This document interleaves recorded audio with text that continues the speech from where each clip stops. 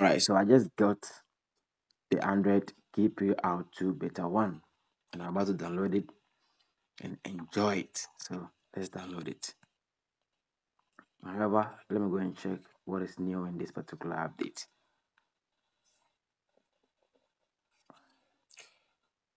Okay. So UI, system experience, and accessibility.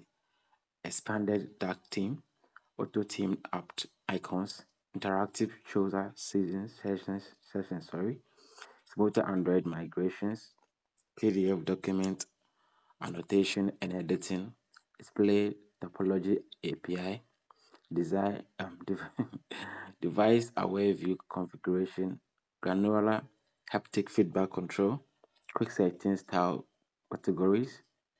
So there's a whole lot of changes in this particular update here. Okay, let's get it done.